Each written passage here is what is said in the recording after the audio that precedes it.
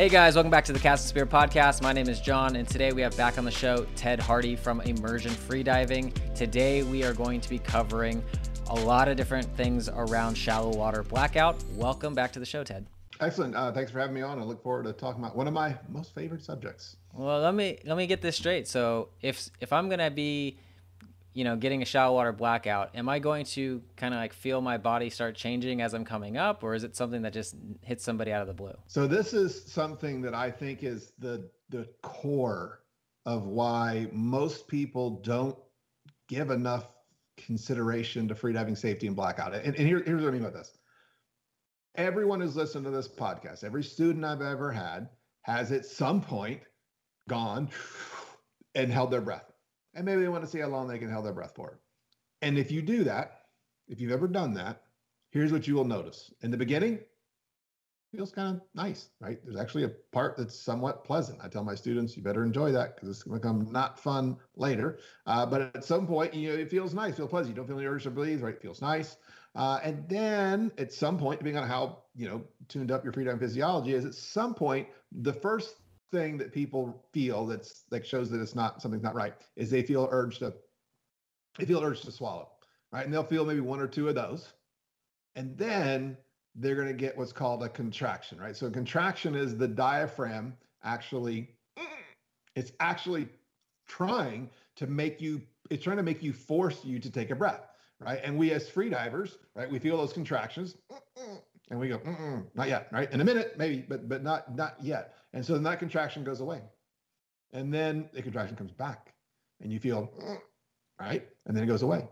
And then it comes back, but then it's a little stronger and you feel, right? And, it, and, and the contractions, they get faster and faster and stronger and stronger. Right? At some point, you're like, oh God, ah, it's all, it's all, all the CO2 you can handle. It's all the fun you can have today. And you take a breath, right? So if you were to, and I, I always do this in my class, I, if you were to graph this out, what you would what you would see in the graph is something that people would say, Ted, this is so stupid. Intuitively, I understand that. What you would see is that the longer that you hold your breath, the more uncomfortable it gets. And it's a perfect linear 45 degree line, right? If you were to graph it out, you just you'd be like, all right, Ted, why did you draw all that? That's so stupid. Like, of course, I mean, we all know that.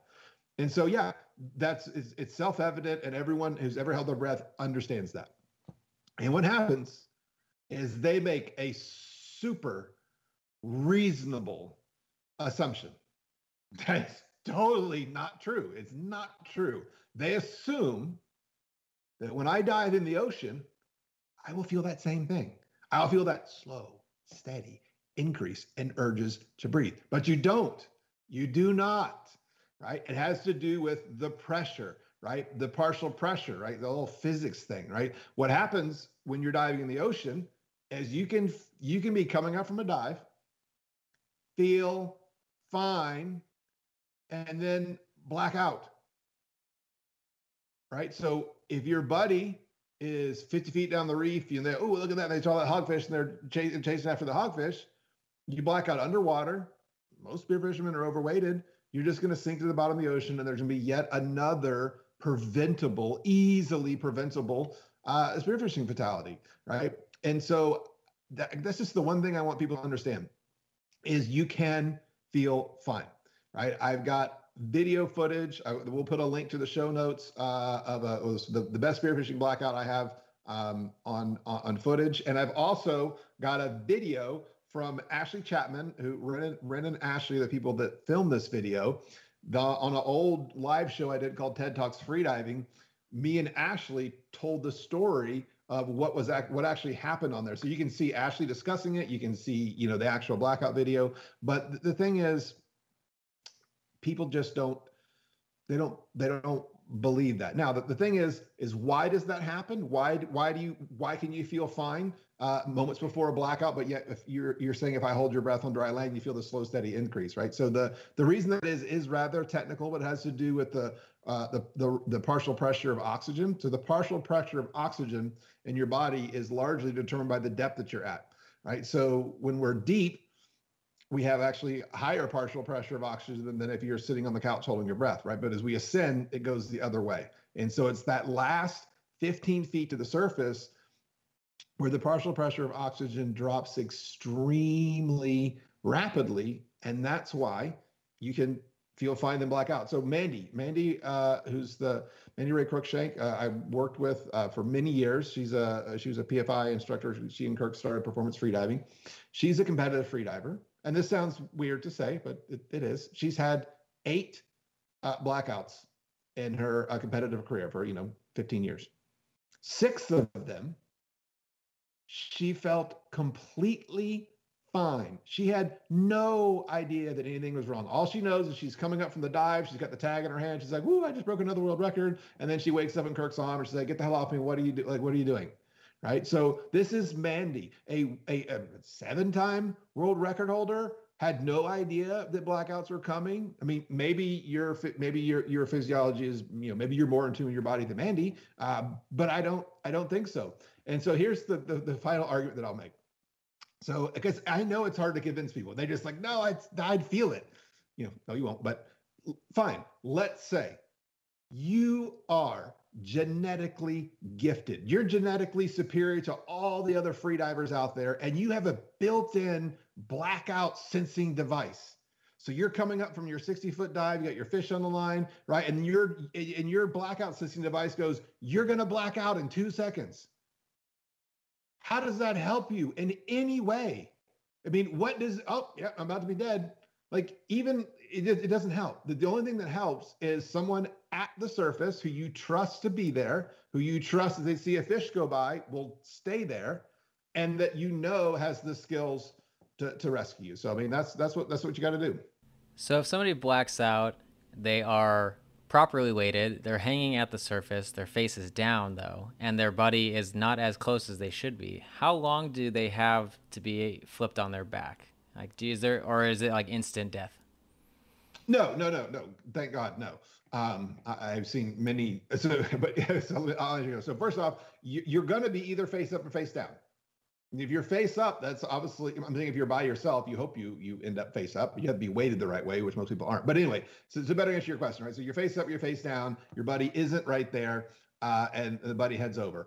Once you have uh, once you have blackout, you've got and again. This is you know this is you've got at maximum two minutes before you're going to take terminal gas, right? So what happens is when you black out, before you blacked out, your body, like I mean, think about it when you're when you're coming up from a hard dive, most people are going to be having contractions, right? Your body's trying to say, "Hey, you should take a breath," and then you, who is in charge, says, "No, that would be really bad. I'm underwater. I'm not going to listen to you and take a breath."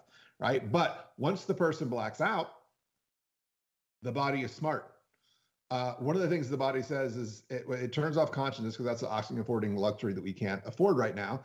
And it says, you know what? We might be underwater. So we're going to stop with this urges to breathe because if we take a breath right now, we might have a bad outcome, right? So you're kind of in that holding phase and you're going to stay like that for a maximum of two minutes. And after two minutes, whether you're face down, face up, on the bottom, whatever, the body says, hey, like we can't stay like this indefinitely. We got to take a breath. It might be water, might be air, I don't know. And you take terminal gas, right? Unfortunately, most of the time that's going to be face down on the bottom, and they find gravel and rocks in the lungs, right? Because they're face down in the sand. And they take a breath. Uh, so you've got a maximum of two minutes. The good news is, I have seen. I, I was telling some. I think it was maybe Jeremy Gamble from Spearing Magazine, but I, I was. I, I've I've seen more blackouts than than most people. it's not because I've seen hundreds of blackouts in person. Obviously, as an instructor for 12 years in freedom competitions, I've seen blackouts.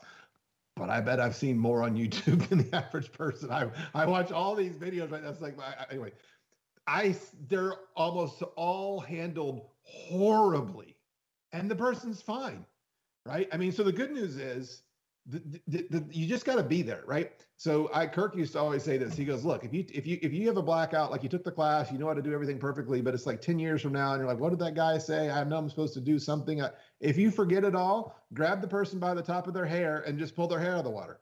The number one rule is protect the airway. It's the water in the lungs that kills us every time. It's not the it's not the blackout. It's the water in the lungs. So if you if you if you don't have no idea what you're doing, just keep that head out of the water right? Keep the head out of the water. Obviously, in a freediving classroom, there's some better techniques. If you go to freedivingsafety.com, you can see it, but we teach them to put them on the back, take the mask off, blow across the eyes. But the main thing is keep that airway, that the mouth and the nose out of the water, and they're going to be good. One last question I have is Are you able to weight yourself so that if you did black out, for, for example, you have a higher probability of, of flipping over so your face is out of the water? Uh, the weighting isn't going to determine that. Right. I mean, you can, I mean, obviously the way I teach my, you know, teach people the way I talked about in the last episode is how to weight yourself so that you're absolutely going to end up at the surface. You can absolutely weight yourself so that you will end up at the surface. But now, like, you know, because I know people say that, well, Ted, if, I, if I'm weighted your way, like I'll be at the surface, so I'll be fine if I black out. Well, now you're you're you're risking your life on if you end up face up or face down, right? I mean, like if you flip a coin, right?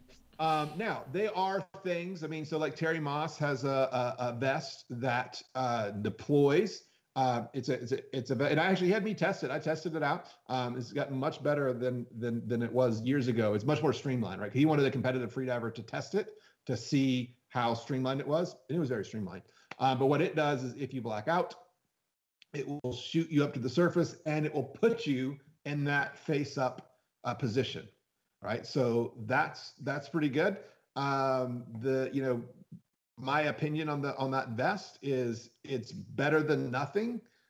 Uh, if you if you dive into the team and wear the vest, of course I love it because it, it, gives you more uh, safety. But there's some definite holes to that thing that I think a lot of people don't understand, and that without getting all of the whole details, the bulk the bulk of it is that thing basically it sets off if you hit the surface and then you and then you sink down. Like if you if you hit the surface and you black out then you're going to sink down to the bottom right? And so it says hey you shouldn't be sinking so it, it sends the vest off it shoots you to the surface.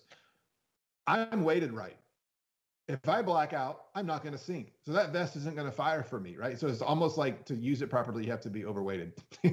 Um, so that but, but but the bottom line is that is a useful tool. It's better than nothing. It's not nearly as good as a as a as a as a safety team. But if you use a safe team and you use that, then how, do I have a problem with that?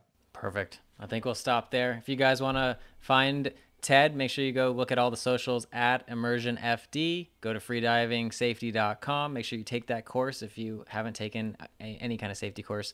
Make sure you check out his podcast, Freedive Live. And tomorrow we have Ted back, and we're going to be chatting about Valsalva versus Frenzel equalization. Thanks for being on the show, Ted. Hey, one more thing before you go. Do you find yourself watching YouTube as much as I do? I think it's replaced my TV, to be honest. Well, if so, check out the Cast and Spear YouTube channel. We're trying to put up good tips and tricks that we learn as we get better at fishing and spearfishing. And we'd love for you to subscribe and leave a comment. We'll see you there.